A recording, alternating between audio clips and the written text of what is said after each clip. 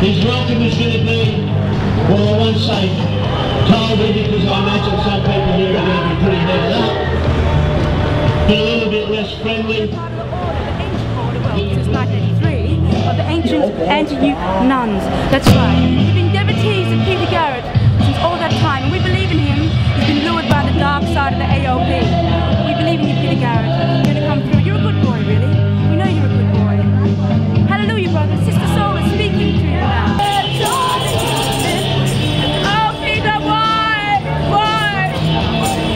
Good morning everyone, thanks for coming along. We're here to protest Peter Garrett who's going to be at a conference here sometime soon and to express our opposition about his political sellout on a whole number of different fronts. A lot of us are anti-nuclear and peace campaigners. A few of the issues we're worried about is Beverly and Beverly 4 Mile uranium mines.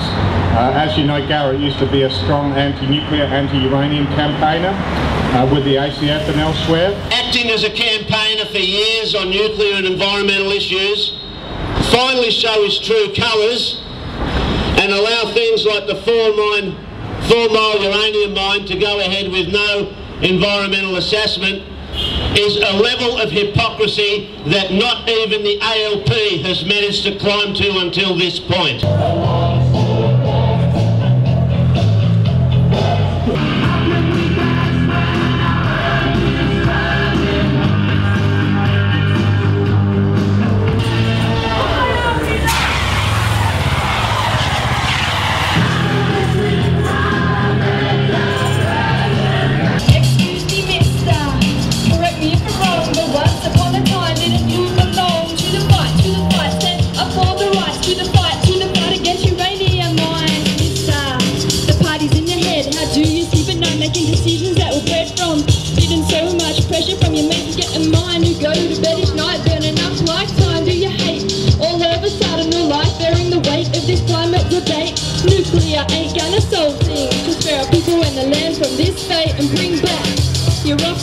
Rockstar policies. The decisions you ran that needed no apologies. Remember when you belong to the fight?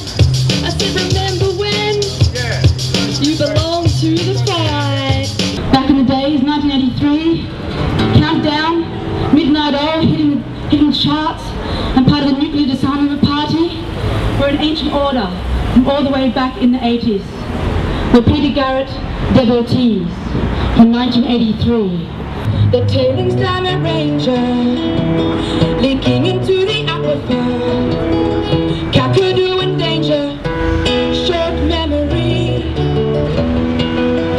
Oh, short memory. The expansion plans to Roxby Down, stealing water from the underground. Destruction that will compound. In situ Beverly, outlawed in sovereignty. Short memory. Oh, short memory must have a. Oh, short memory. Oh, short memory must have a. Oh, short memory. Here comes the sad bit. This is you, Peter. You had a hand in this. Now it's go ahead at four mile. Practicing your politician smile. Environmental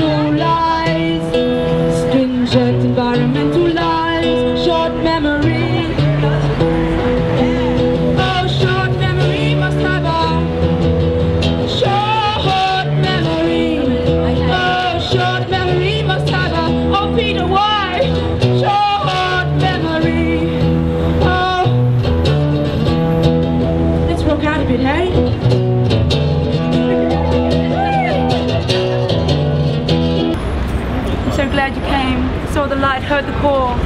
You mean to pray for Peter Garrett? He's done a good job today over the dam, yes. And energy efficiency, pip pip hooray! But uranium mining, no, I don't think so. Peter, I know your hands are tied, Peter. I know you're a good boy. You're a good boy, Peter. We believe in you. We've been devotees of Peter Garrett since 1983. It's an ancient order.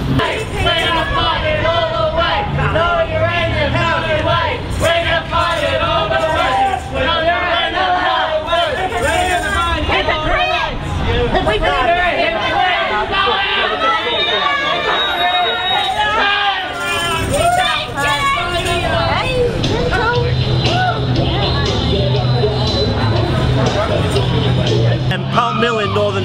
Virginia and um, he said nothing about any of the issues. He cynically tricked Australia into believing that he was a supporter of for all those years. I think the veil is finally off. Peter Garrett has always been a self-promoting right-wing Christian lawyer.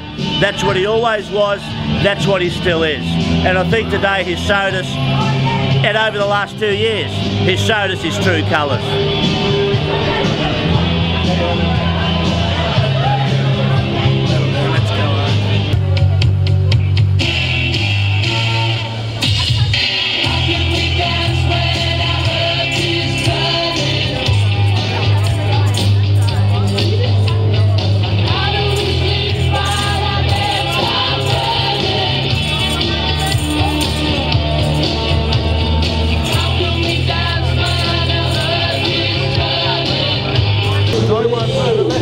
the time right